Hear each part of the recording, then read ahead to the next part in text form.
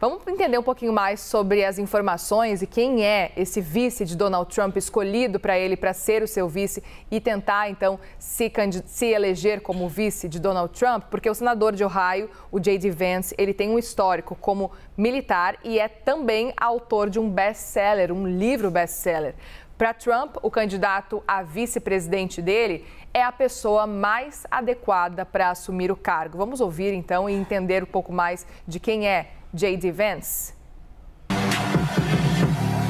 J.D. Vance tem 39 anos. Nasceu em Middletown, no estado de Ohio.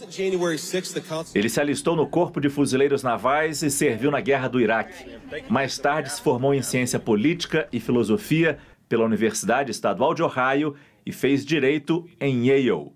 Vance também trabalhou como investidor, apostando em empresas no Vale do Silício mas ele se destacou mesmo com sua autobiografia, o best-seller de 2016, Era uma vez um sonho, onde destaca o que é nascer e crescer numa família com poucos recursos, com poucas perspectivas. Foi inclusive este livro que levou Vance a conhecer a família Trump, que gostou da história.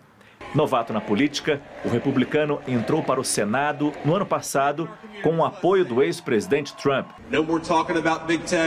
Mas essa relação já teve rusgas.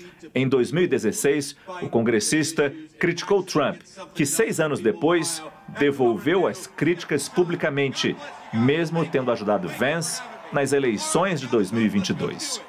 Agora, em 2024, Vance virou a alternativa mais jovem entre os pré-candidatos avaliados pelo republicano e foi escolhido, nesta segunda-feira, como vice-presidente na chapa à Casa Branca. You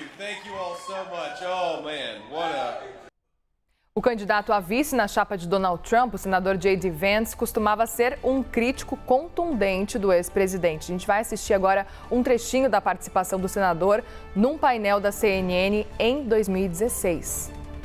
It's, and it's not just that Donald Trump doesn't speak to issues of special concern to minority voters or black voters, it's that he seems to like actively antagonizing a lot of the black vote. Unfortunately, that's been the Republican Party strategy for 30 years.